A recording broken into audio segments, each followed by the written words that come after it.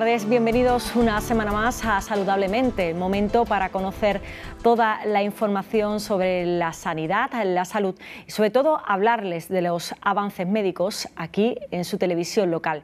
Y lo vamos a hacer esta semana comenzando nuestro viaje hacia la clínica López Cano. Allí, de la mano del jefe de cirugía general Rafael Gómez Becerril, vamos a conocer los últimos avances y sobre todo las últimas incorporaciones de esta clínica gaditana.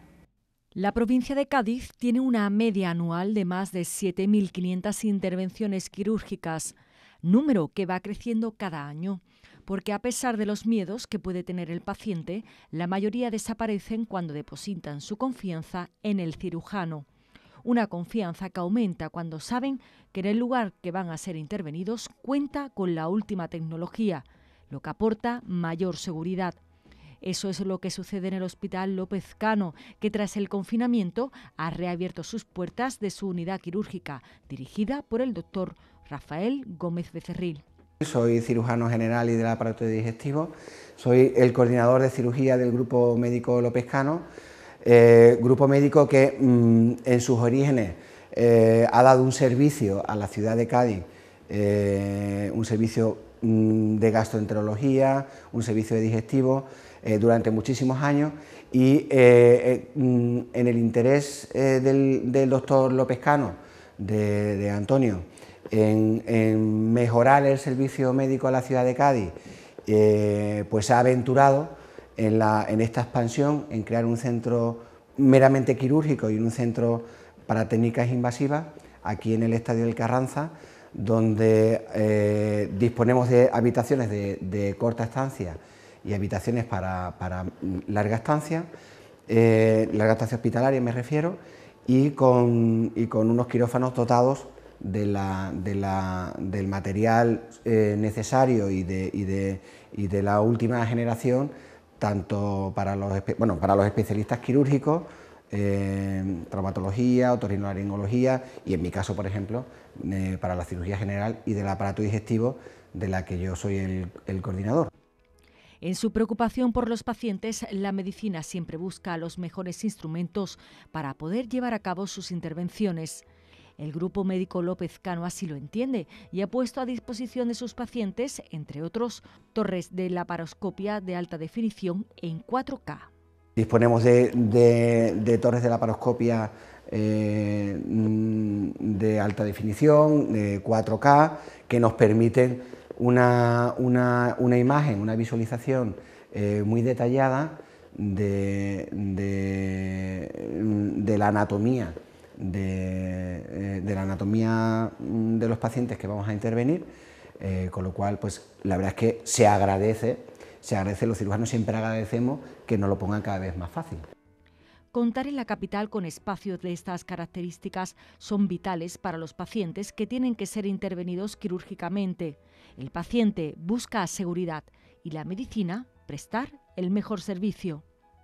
En realidad, eh, yo entiendo que mm, había una demanda en la ciudad de Cádiz de, la creación de un centro, de un centro médico quirúrgico eh, nuevo, o al menos así es como, mm, como la familia López Cano lo ha entendido. Y, y realmente llevamos, eh, eh, el centro lleva muy poco tiempo abierto y la respuesta de la ciudadanía y de los profesionales sanitarios que, eh, que acudimos aquí pues es una respuesta bastante favorable.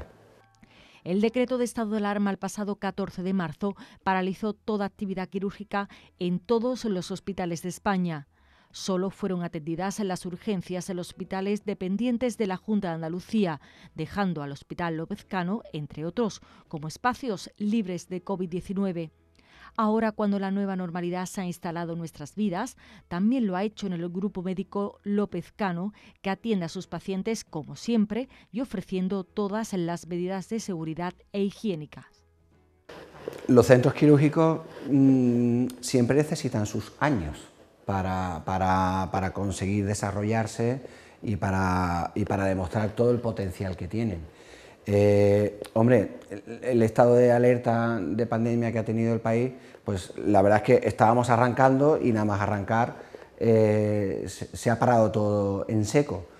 Pero bien es verdad que en cuanto, en cuanto hemos podido, o sea, en cuanto la situación del país ha mejorado y hemos vuelto de nuevo a arrancar, pues mm, se ha seguido la misma tónica de, demanda y de crecimiento eh, y de volumen asistencial que se venía, que se venía experimentando en los, primeros, en los dos o tres primeros meses.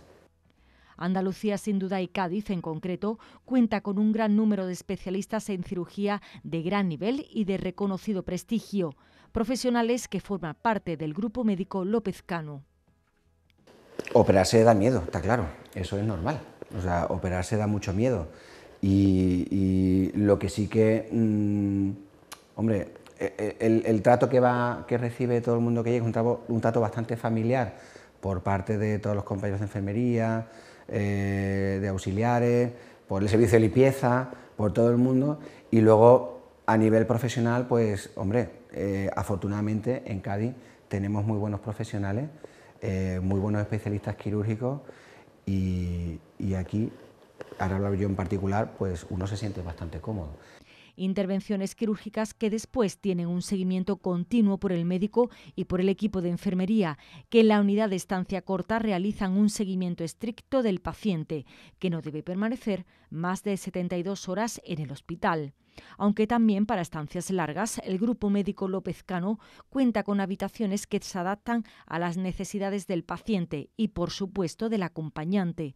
Para ambos, la estancia en cualquier hospital debe ser lo más cómoda posible. Y para el paciente, eh, hombre, pues llega unas instalaciones nuevas, eso siempre es de agradecer. Eh, está todo muy nuevo, muy moderno, muy limpito. Hombre, pues eso, siempre la parte hostelera, pues también es algo que, a día de hoy tiene su importancia, en mi opinión.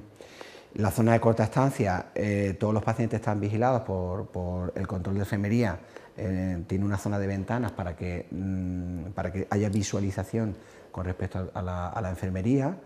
Eh, y luego la zona de más larga estancia, habitación un poco más amplia, un poquito más cómoda, de pacientes que van a estar más de una noche hospitalizados. Eh, donde el control de enfermería ya no, ya no la ven constantemente, pero bueno, son habitaciones que comer, claro, son más grandes, más cómodas para el paciente que va a necesitar más tiempo de cuidado.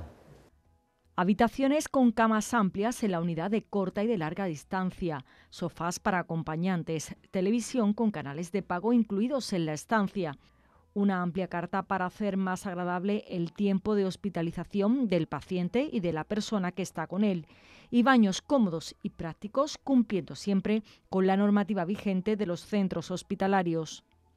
Desde finales del mes de abril, en Cádiz ha reabierto este nuevo centro médico quirúrgico en donde las últimas tecnologías quirúrgicas van ligadas con la atención de los mejores profesionales y con instalaciones sobresalientes. Y seguimos en el Hospital López Cano, donde vamos a conocer ahora los últimos avances en otorrinolaringología.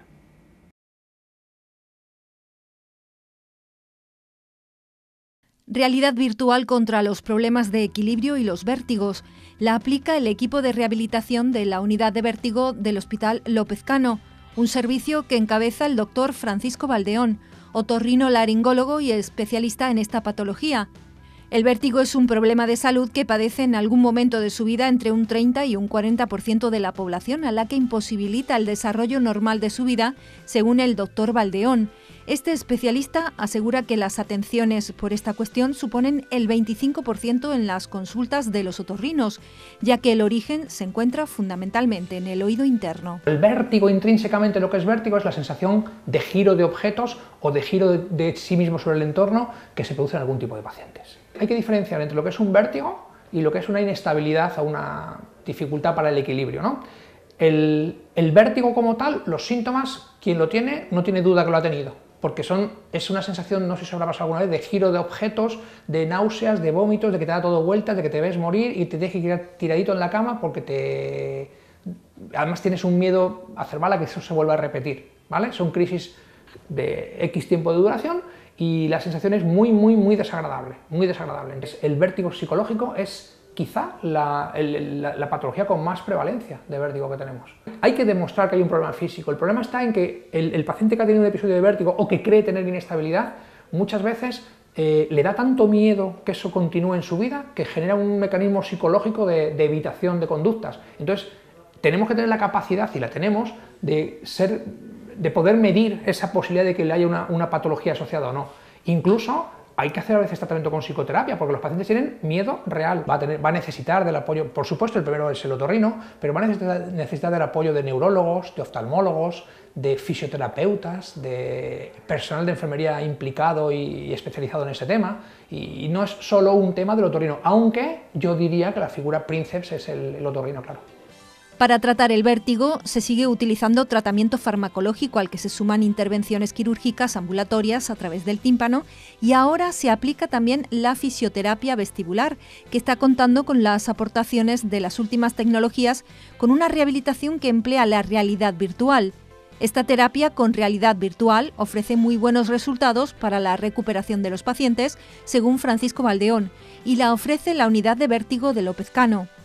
Podemos hablar de un tratamiento farmacológico, indudablemente, podemos hablar de un, tratamiento quirúrgico, que es sobre todo basado en la inyección de sustancias dentro del tímpano a través del oído, técnicas que se hacen en consulta, muy, muy sencillitas, y que ayudan también a controlar X tipo de vértigos, y fundamental el tratamiento rehabilitador, la fisioterapia vestibular, que es lo que más en boga hasta ahora y que, aprovechando un poco la plasticidad cerebral y, del resto de organismos que controlan el, sistema del equilibrio, pues eh, ayudamos al paciente a que se incorpore a una vida normal, lo más normal posible. Con los medios diagnósticos que tenemos, somos capaces de detectar mínimos cambios en el organismo que inducen a producir vértigo o desequilibrio. Y sobre eso es sobre lo que tenemos que luchar, bien con fisioterapia dedicada específicamente a ese problema, o ya digo, incluso subiendo en el escalón hasta la, realidad virtual que nos permite someter al paciente a situaciones estresantes relacionadas con el problema que tiene y progresivamente se va acostumbrando a esa situación y conseguimos adquirir casi una normalidad. La realidad virtual es lo que, eh, eh, desde mi punto de vista, más eh, efectividad nos está produciendo hoy en día. Hay que tener en cuenta no solo la población senil, que, es candidato muy frecuente a tener vértigo, también estamos trabajando mucho con mutuas de trabajo, de accidente de trabajo. Cualquier tipo de accidente de tráfico, de moto, de accidente laboral, implica el llamado latigazo cervical, un movimiento cervical, un cambio en los mecanismos, en los inputs que recibimos, la información que recibimos para mantener el equilibrio, y esto genera dificultades para mantener su vida laboral en el paciente. La puesta en servicio de esta terapia con las últimas tecnologías, así como el tratamiento integral del vértigo, sitúan a la unidad especializada del Hospital Dr. López Cano como uno de los referentes a nivel andaluz y en un puesto destacado en el país, según el doctor Valdeón. En cuanto a personal del que dispongo, medios y conocimientos, podríamos optar a ser un referente en Andalucía, nivel alto en España. Al servicio de otorrinolaringología ofrecido por la unidad de vértigo de López Cano se suman las consultas de especialistas en neurología, oftalmología, fisioterapia y enfermería para el tratamiento multidisciplinar de esta patología. Los servicios incluidos se reparten entre el hospital, situado en la tribuna del Estadio Carranza, y la Clínica Astarte.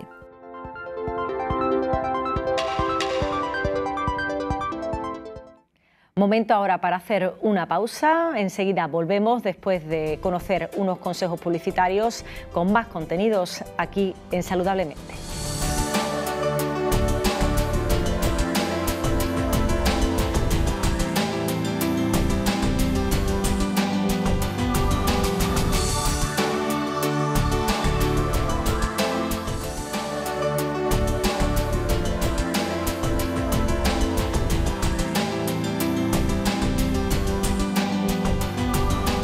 Seguimos en Saludablemente y hemos comenzado una nueva temporada, como ustedes saben, pero no podíamos dejar, por supuesto, eh, sin que tuviese aquí su espacio en Saludablemente el Colegio de Psicólogos de Cádiz y por eso está en el plato de Saludablemente su presidente, Jerónimo Acosta, a quien le damos la bienvenida y las gracias de nuevo por estar en esta nueva etapa. Un placer. Muchas gracias a vosotros, buenas tardes y, muchísima suerte en esta nueva etapa. Yo, como digo, afortunadamente todo sigue igual, sigue, seguimos con la misma estructura, seguimos con los mismos contenidos. Quizás lo que haya cambiado es la cara de la presentadora, pero afortunadamente además tengo el, buen trabajo de mi compañera Fátima Sánchez, así que yo solamente cojo el testigo de ella y es un placer además hacerlo. Jerónimo, el Colegio de Psicólogos siempre además ha estado colaborando con esta casa, con Onda Cádiz Televisión, y en este caso, pues abres, como bien digo yo, esta nueva etapa, eh, una etapa que empieza además tras el Vamos a hablar precisamente eh, de cómo eh, nos encontramos eh, ante esta situación y sobre todo, primero, cómo se, cómo se ha vivido este confinamiento y sobre todo el resultado, ¿no? el desconfinamiento, cómo nos enfrentamos todos a esta nueva normalidad. Bueno, esa es para, para, definir, ¿no? Efectivamente es una, estamos abriendo, igual que el programa, estamos abriendo en muchos sentidos nuevas formas de vivir, nuevas formas de, enfrentarnos a una nueva normalidad, ¿no? que es lo que eh, tenemos por, delante, la llamada nueva normalidad, esta desescalada, y cómo nos enfrentamos a ella, de qué manera podemos hacerlo de la mejor de las maneras que, podamos, pues yo creo que una de las cuestiones básicas es sacar todo lo que hemos aprendido, lo que, lo que nos ha enseñado estos, este tiempo tan, tan difícil, tan peculiar, tan, tan distinto de todo lo que habíamos conocido que ha supuesto la, crisis sanitaria, que ha supuesto el confinamiento que hemos tenido que, llevar a cabo la, población. Eh, la mejor de las maneras de enfrentarnos a la desescalada es eh, sacar todos los aprendizajes que hemos tenido durante esta etapa, porque además nos ha costado mucho. lo que hemos pagado, el precio que hemos pagado por esos aprendizajes ha sido muy alto y es obligación nuestra el sacar esta, este aprendizaje. Lo primero de todo es saber eh, gestionar las incertidumbres, porque nos vamos a enfrentar siempre a, algo nuevo. ¿eh? probablemente cuando hablamos de nueva normalidad dice la gente, bueno, normalidad, bueno, quizás no sea normalidad, pero desde luego es nuevo. ¿eh? Entonces, aprender a gestionar esa incertidumbre, hemos visto durante todo este tiempo que una de las cuestiones fundamentales es el no saber el, enfrentarnos a cosas que era la primera vez que nos enfrentábamos, la primera vez que teníamos, eh, tenía, ocurría algo así, a, esto, a, los niveles en los que ha ocurrido, eh, y, hemos podido ver cómo, es verdad que la incertidumbre es muy alta, pero la capacidad que hemos tenido de adaptación también es muy alta. Esa enseñanza yo creo que es la fundamental a, llevar, a poner siempre por delante para cualquier cosa de las que hagamos. Incertidumbre y capacidad de adaptación que es alta, es muy alta en el ser humano. Hemos tenido una capacidad de, adaptación, yo digo que además quizás los que mejor se han adaptado son los niños pequeños a este confinamiento, a estas rutinas que hemos tenido que, hacernos en casa ¿no? durante el confinamiento. Yo creo que eh, hemos sido capaces de crear una rutina, pero sin embargo hemos, hecho, hemos echado mucho de menos el vivir en la calle, el vivir, estar con otras personas. Eh, no sé qué consecuencias realmente vamos a tener de todo esto. Pues somos una, sociedad, sobre todo nosotros, ¿no? un país como España y una región como Andalucía, somos una sociedad muy mediterránea, muy volcada a, la calle, muy volcada a lo social, a, vivir en, comunión con, las demás personas, a tener una, relación social muy intensa.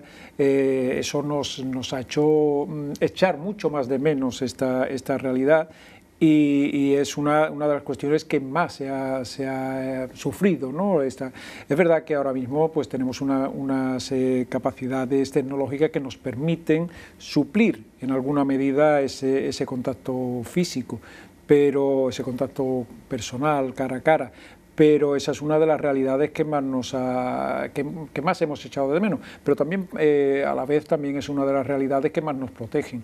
Uno de los factores que más protegen la salud mental de las personas es su red de apoyo y nosotros somos una sociedad que, consolidamos y que, y que valoramos mucho y que tenemos una, una alta red en general de apoyos. dicho esto, siempre hay que tener en cuenta que cada persona es diferente y cuando hablamos, hablamos en general y luego habrá personas pues, que tengan unas realidades diferentes, que tengan unas dificultades, que tengan una, una mayor eh, soledad y a la cual pues, esta situación igual que cualquier otra prácticamente se les hace, se les hace más difícil de llevar.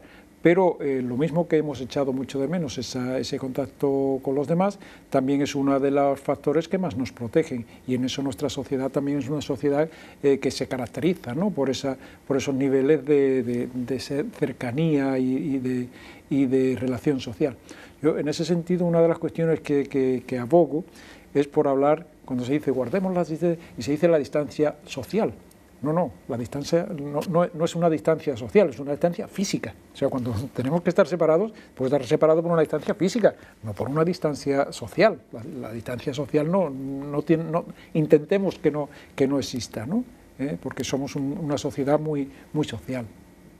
Jerónimo, precisamente ha hablado algo muy importante, que es la familia. Eh, muchas personas durante todo este tiempo, precisamente, lo que le ha faltado es esa esa unión familiar, esas visitas casi a diario o no diario con sus madres, padres, hermanos, eh, ¿en qué nos afecta realmente esa, esa, soledad que hemos vivido ¿no? en, una, en una sociedad como la española o mediterránea, ¿no? con esa vinculación tan fuerte a la familia?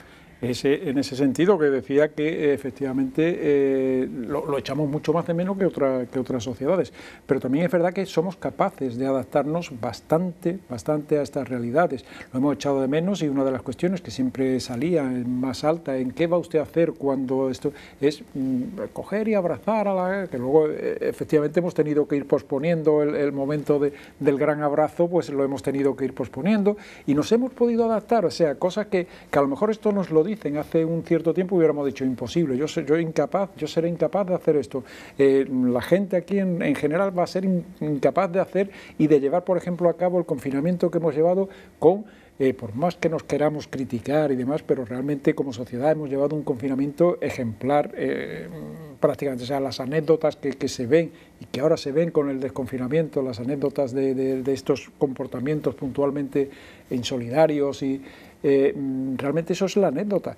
La realidad es que la gente lo ha llevado fantásticamente bien. Y si esto nos lo hubieran dicho en un tiempo atrás, no nos lo creemos. Por eso decía que eh, la capacidad de adaptación es una de las cuestiones, nuestra propia capacidad de adaptación es una de las cosas que siempre tenemos que tener, porque nos vamos a enfrentar a dificultades y algunas personas en unos niveles mayores que otros.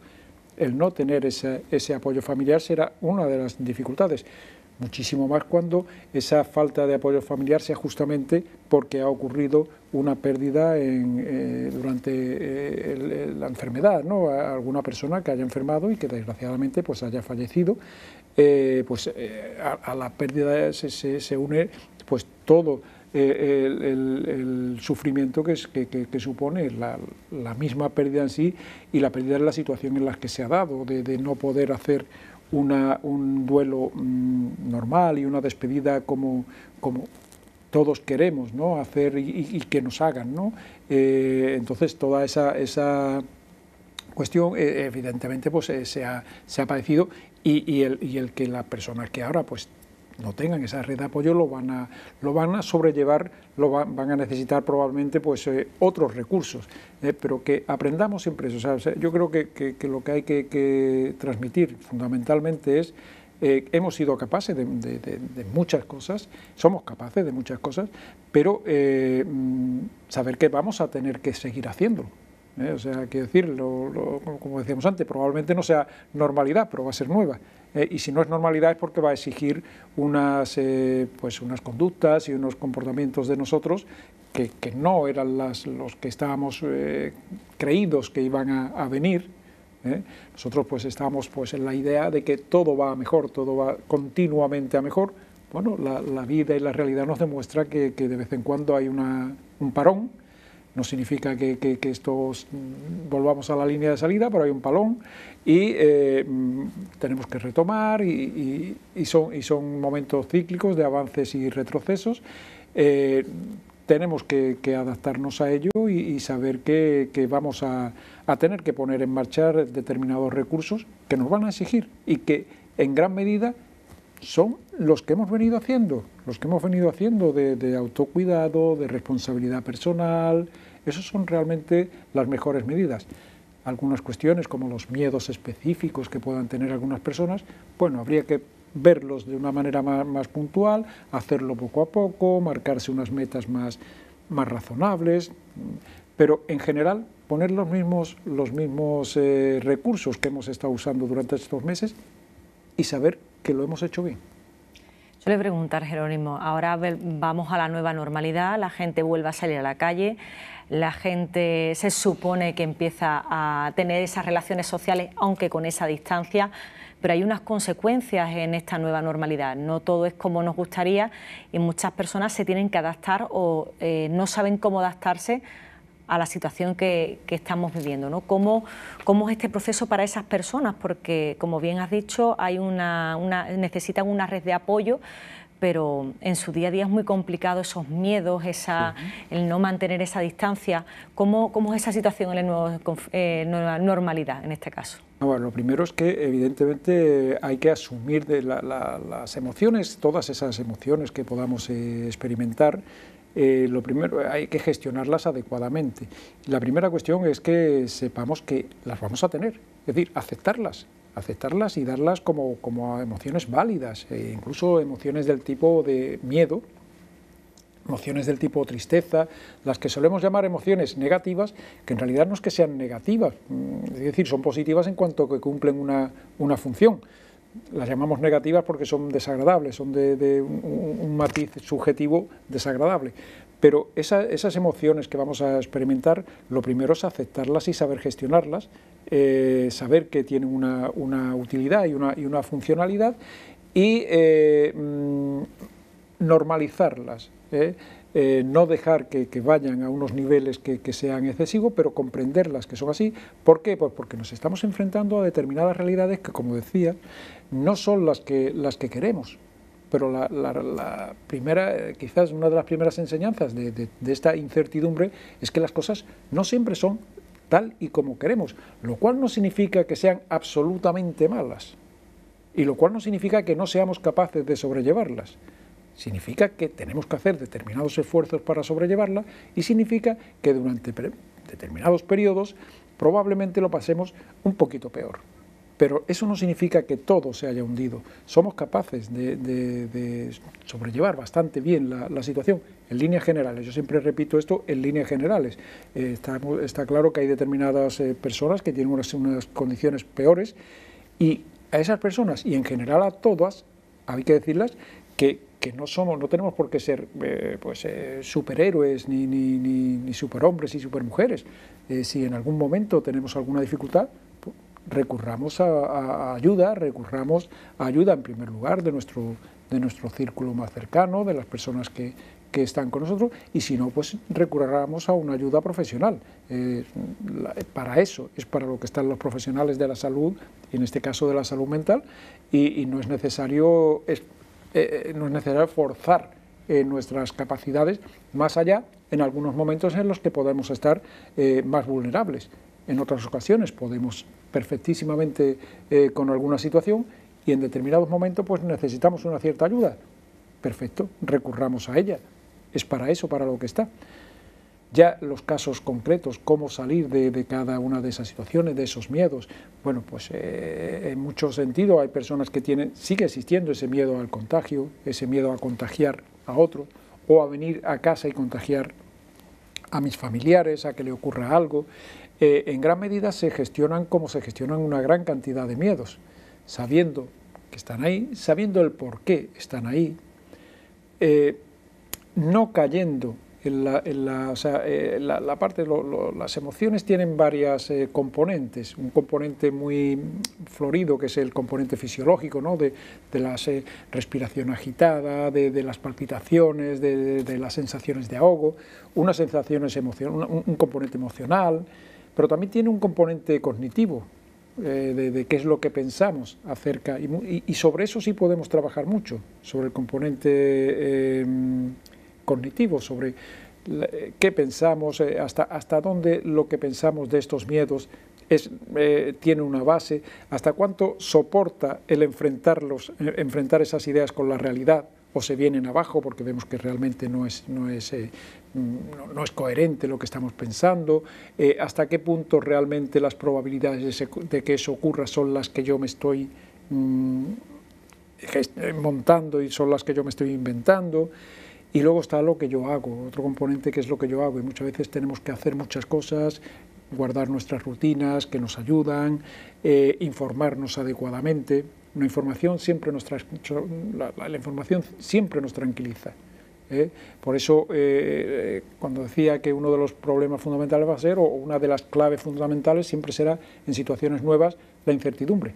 Y contra la incertidumbre realmente la información es uno de los factores que más tranquiliza, una información bien llevada, una, información que sea eh, útil, que sea contrastada, no la primer, el primer bulo que, que, tenemos a través de alguna de las eh, eh, de, internet, a través de, de algunas de las redes sociales, ¿no? que, que, son muy fáciles de, transmitir bulos y que no tranquilizan realmente esa información, sino una información contrastada, fundamentalmente pues hay, yo al menos lo, digo así a niveles clásicos, los medios de información, los medios de comunicación, los medios de comunicación básicamente, que también lo, están en Internet, que también están utilizan todos los recursos de, las redes sociales y tal, pero que son contrastados, que son unos, eh, no es igual el, Twitter de, un medio de comunicación que, que, que uno que nos llega a través de WhatsApp, un hilo que no sabemos ni de qué es ni de qué va.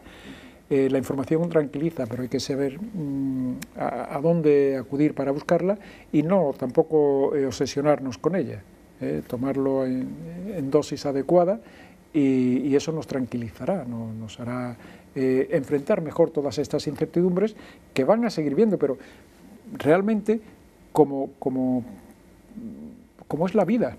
La vida es verdad que, que, que en este momento a unos niveles mucho más altos, ¿no?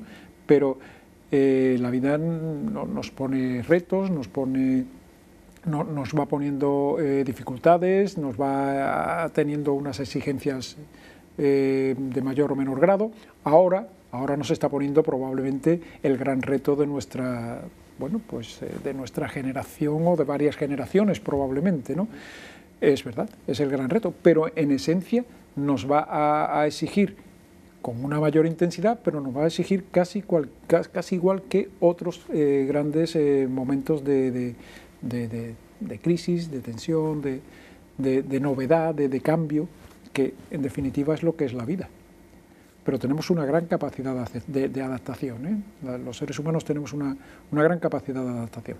Yo, como usted ha dicho antes, yo creo que hemos mostrado una muy buena actitud en el confinamiento, a pesar de que, bueno, hay algún algo que bueno, que hay gente que no se ha portado del todo bien, pero yo creo que todos hemos tenido una, un comportamiento ejemplar, se está teniendo ahora, si es verdad que hay que extremar las medidas, es inevitable, como bien dice, vivir sin miedo en, en, la situación que nos encontramos, es donde empieza a haber además rebrotes y obviamente estamos en una situación muy delicada. ¿no?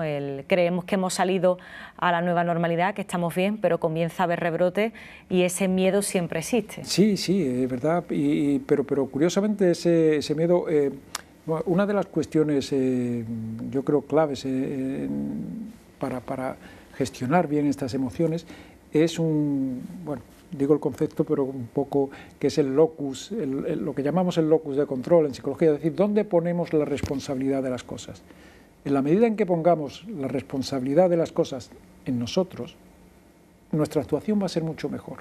Es decir, cuando eh, veamos los rebrotes, ¿Por qué pasa? Ah, no, es que la gente nos, no, es que los, es que, no, no, perdona. Vamos a situar en nosotros las responsabilidades de, que los rebrotes que van a ocurrir, que van a ocurrir, pero es inevitable que, ocurran porque es un, agente contagioso y entonces, pues, mm, eh, eh, yo supongo, no soy epidemiólogo, pero supongo que será inevitable que ocurran, pero que ocurran con una intensidad y con una frecuencia que sea asumible por los, eh, por los servicios sanitarios y que a las personas que lo necesiten puedan ser atendidas con eficacia y, salir adelante con, con, muchísimas posibilidades de éxito.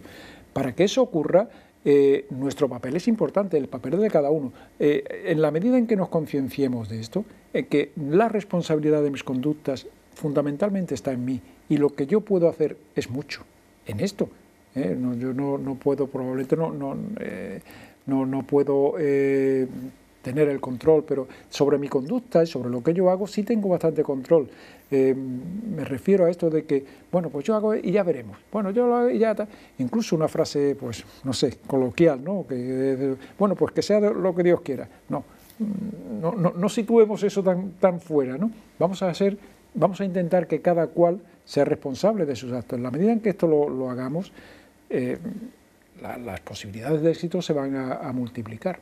Es verdad que eh, para bien, quizás para mal en este sentido, eh, estamos en una zona que no ha habido afortunadamente un, un, golpe excesivamente fuerte de la, de la pandemia. De la pandemia. No, no, estamos en una de las zonas más castigadas. Entonces estas cosas pues tienden a, mm, hacer que, que la, la, concienciación pues eh, sea un poquito más baja.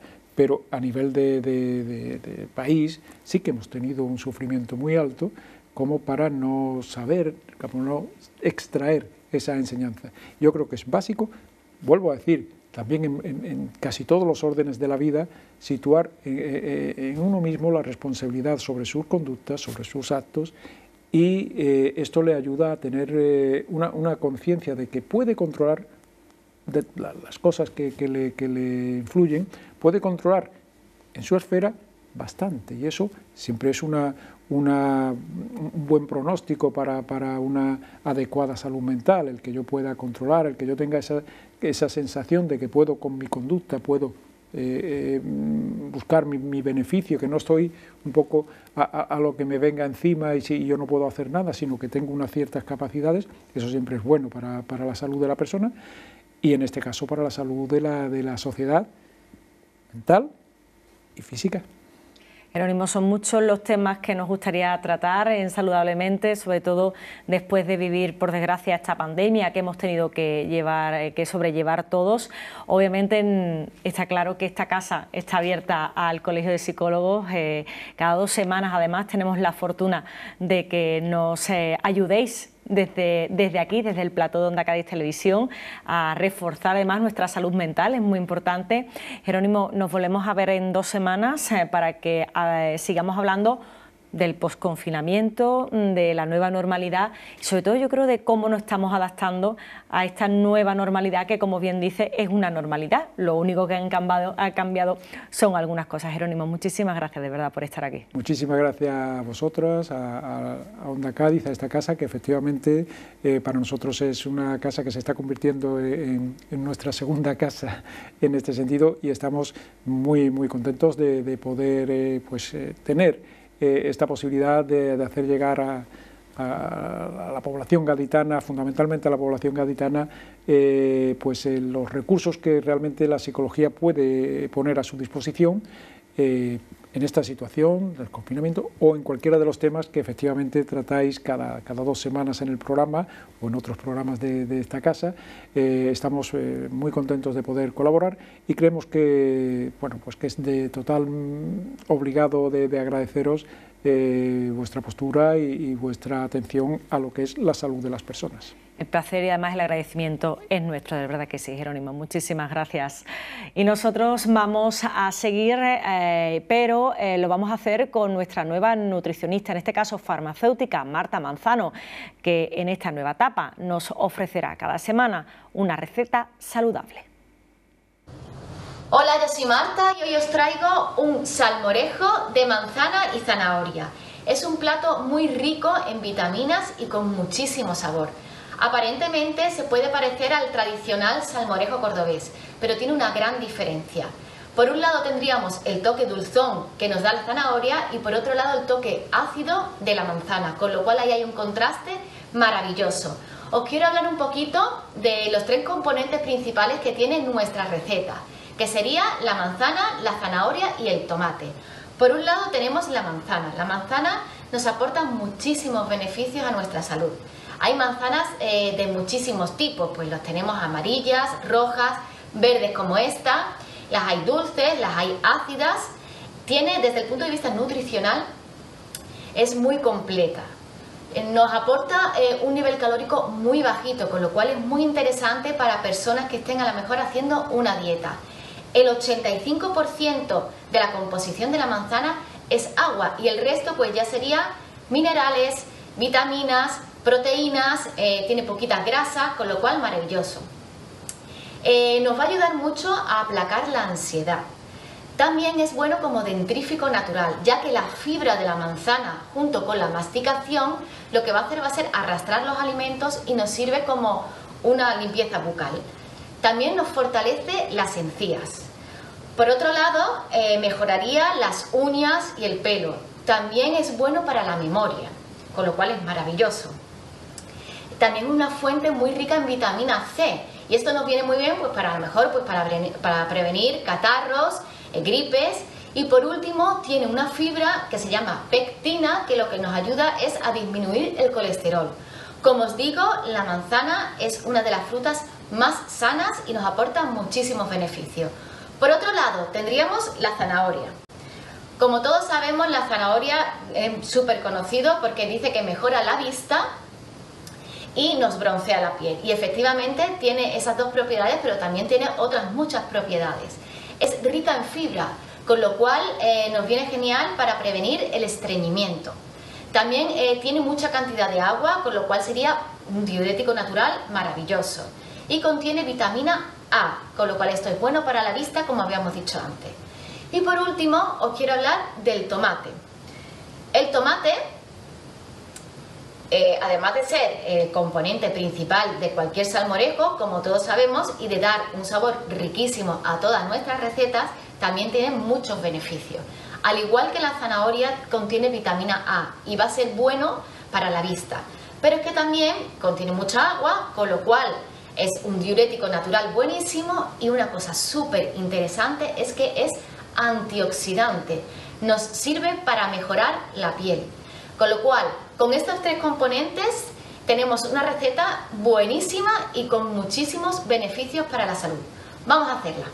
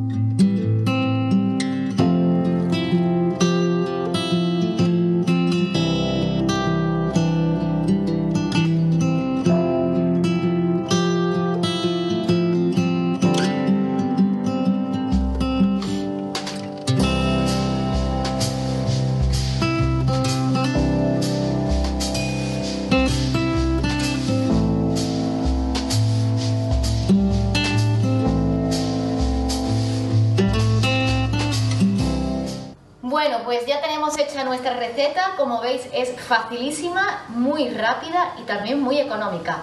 Y ahora vendría la parte de emplatar. Para mí es una parte muy importante. Mi lema es pon lo bonito que sabe mejor.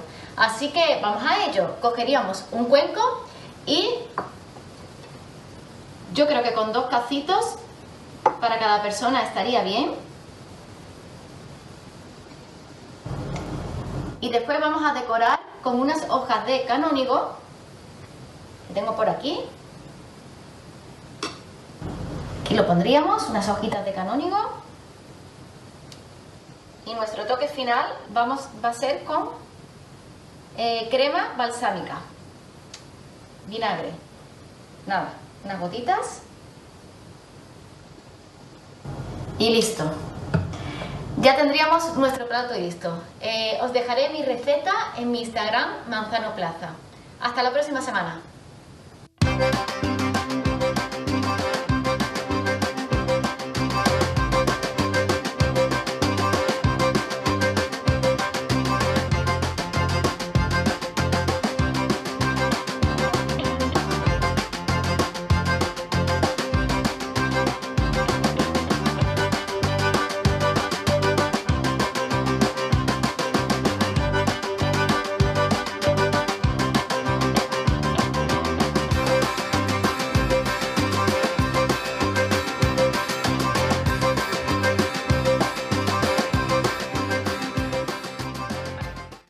Muchísimas gracias a Marta Marzano, farmacéutica, que cada semana nos va a proponer un plato, una comida saludable y sobre todo nos va a contar los beneficios de esos ingredientes de sus recetas y les damos las gracias a ustedes por estar ahí acompañándonos en Saludablemente. Nos vemos la próxima semana y como les deseo que siempre se lo desee la semana pasada y lo vamos a hacer cada semana, les pido que se cuiden mucho. Hasta entonces.